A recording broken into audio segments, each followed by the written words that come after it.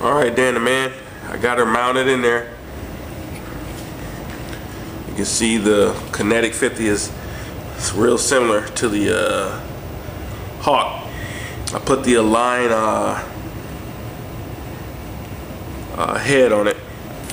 I had some metal grips uh, and uh, main rotor assembly I stuck up there for more strength. Got the tail mounted.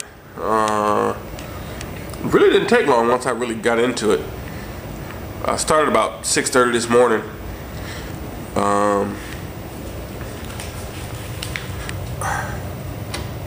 none of this is permanent yet. I just want to get everything mounted in there.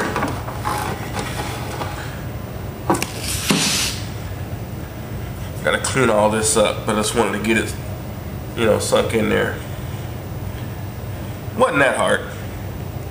Like I said, started at 6 this morning and got everything done pretty quick. I'm gonna go ahead and test this tail, see if it blows up on me. Um, we'll see what it sounds like. I'll give you the vid and let me know if it sounds decent. All right, stand by.